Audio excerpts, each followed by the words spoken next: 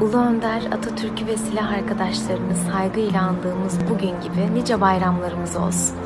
Cumhuriyet'in 97. yılı, 29 Ekim Cumhuriyet Bayramımız kutlu olsun. Cumhuriyetimizin 97. yılında Gazi Mustafa Kemal Atatürk ve silah arkadaşlarını saygı ve rahmetle anıyoruz. Cumhuriyetimizin 97. yılı kutlu olsun. Bugün 29 Ekim.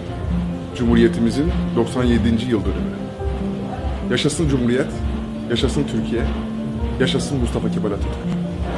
29 Ekim 1923 tarihinde Türkiye Cumhuriyeti resmen ilan edildi. 97. yıl dönümünü kutladığımız Cumhuriyet Bayramımızı gelecek nesillere armağan eden Ulu Önder Atatürk'ü de saygıyla ve sevgiyle anıyoruz. Cumhuriyetimizin 97. yılı. 29 Ekim Cumhuriyet Bayramı kutlu olsun. Cumhuriyet Bayramımız kutlu olsun. Cumhuriyetimizin 97. yılı kutlu olsun.